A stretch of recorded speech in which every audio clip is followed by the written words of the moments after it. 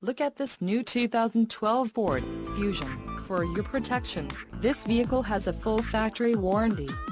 This vehicle gets an estimated 23 miles per gallon in the city, and an estimated 33 on the highway.